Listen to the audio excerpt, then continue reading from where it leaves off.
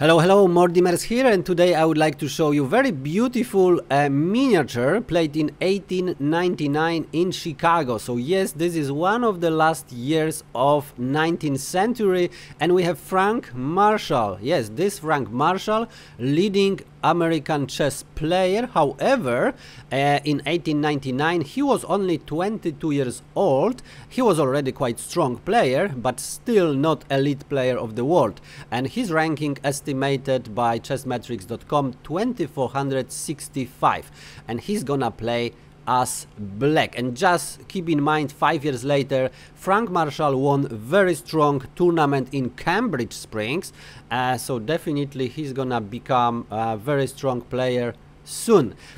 And his opponent Sidney Johnston. And who was Sidney Johnston? Okay if you know a bit about American history, maybe you heard about the, the general uh, in the 19th century history of America. Uh, not, that's not the Sidney Johnston, is different one. Uh, our uh, player today gonna be a Sidney Johnston from Chicago and he was a chess player. That's all we know about him. He was born in Chicago, he died in Chicago. Uh, all his life he lived in Chicago and uh, and he was quite decent player. His estimated ranking 2414, he was 30 years old and he's gonna play as white. And he's known because he played this match uh, of 15 games with Frank Marshall. Uh, 15 games and he was not crushed by Marshall. 7 wins by Marshall, 6 wins by Johnston and only 2 draws. So quite even. So definitely Sidney Johnston knew what's going on on the board. So without further ado, let's see what happened on the board. Johnston opened with d4, we have d5 by Marshall, c4, e6, king's gambit declined, knight c3, and now Marshall play less popular variation, knight on c6. So it's queen's knight uh, variation. Similar ideas to Chigorin defense, but uh, quite different, and especially how Marshall plays it. We have knight on f3, knight on f6, and now bishop f4, pointing uh, on c7 and now this knight can easily jump here and take a and that would be a problem. So we have bishop on d6 by Marshall uh, bishop on g3 and now knight e4 attacking this bishop uh, and also attacking this knight. And now uh, can white take this knight? Can but actually it's a very bad idea so better do not do it. So for example knight on e4 d takes on e4 and this knight don't have really good square to move. Uh, so for example after bishop d6 queen d6 knight d2 doesn't really work because this pawn is hanging. And now uh, this pawn is attacked twice so anyway it's very difficult to play. So maybe d5 attacking the knight knight d7 uh, knight d4 and black just winning the pawn. So uh, black have very comfortable game and winning the pawn at the beginning uh, not really great idea to take the knight. So it can't be taken. This is why we have uh, e3 by Johnston we have castle by Frank Marshall and now bishop on d3 and here f5 Stonewall. Uh, Frank Marshall liked to play Stonewalls. Uh, he played it many, many times during his career. Uh, and it's very strong structure.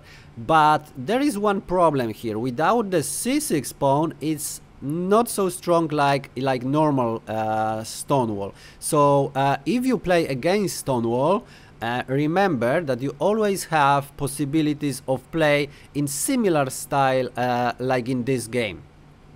We have a3, so Johnston prevents uh, from jumping, for example, knight can jump and attack this bishop.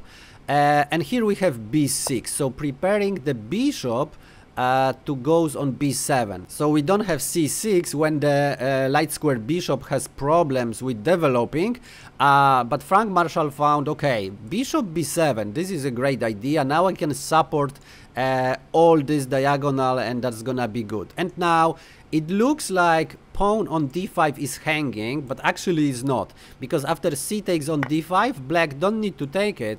First, take the knight, and then uh, after exchanging, uh, everything is fine. White stands slightly better, but uh, didn't win any material.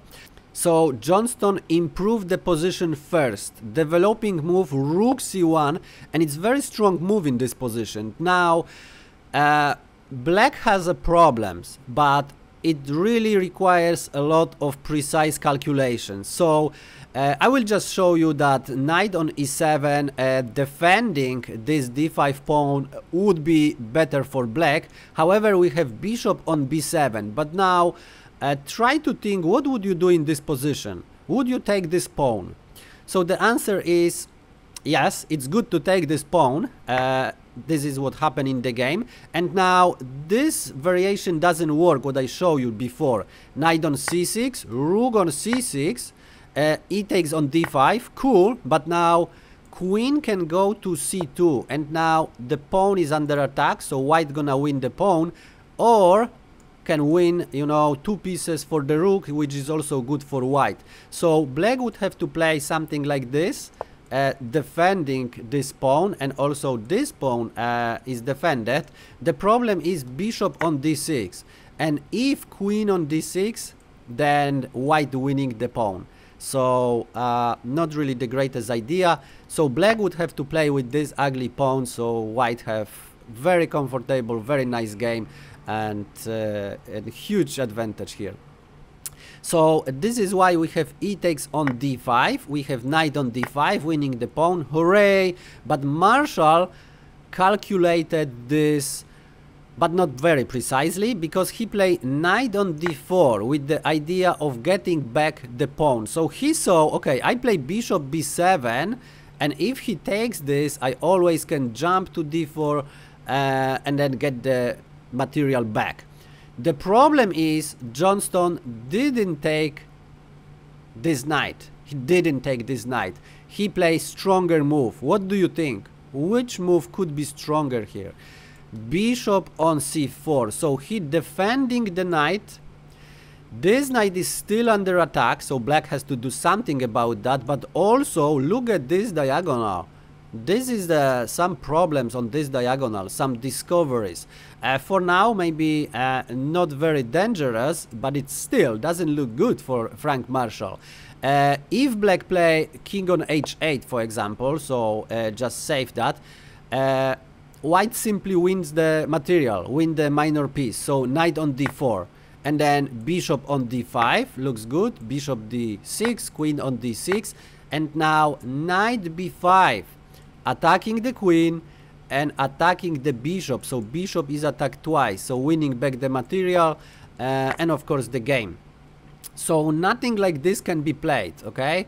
Uh, black has to do something. So frank marshall try knight on f3 with check. It makes sense. So we have g takes on f3 and now this knight is uh, hanging okay? So frank marshall still have to do something about that. But what to play now? Uh, Frank Marshall play the most logical move, uh, knight on g3, okay? And there is a one problem with that. Okay, if h takes on g3, king h8, everything is fine with the black position. The game can continue.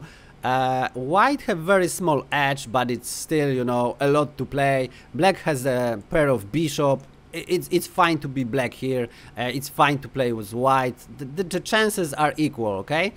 However, the problem is Frank Marshall missed the tactic here. So uh, feel free to pause the video and find the forced checkmate in 4 while I enjoy my cup of tea.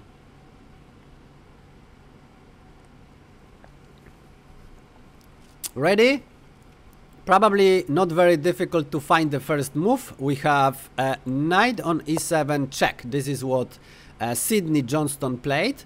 Uh, we have king on h8 because double check, so uh, king has to be moved. Uh, and what now? What would you play now? How to continue? Knight on g6 with check, bang. And now h takes on g6 is the only move because bishop controls g8 and now only now take back the knight. With check bang and look at this. Queen h4 rook on h4 and that's all. This is a checkmate beautiful checkmate. So sidney johnston uh, really showed Frank Marshall how to play against uh, Stonewall. So very short game, but I hope very educational and I hope uh, you can use it uh, in your games. Uh, it's pretty, pretty common. Uh, some people play uh, Stonewall, maybe you play Stonewall and you have to remember that C6 is quite important uh, because this diagonal can be exploited by, by, by, white and it can be very, very dangerous. So yeah, more chess content is coming. So if you don't want to miss it, press subscribe, smash the bell button. Thanks for watching and see you in the next one.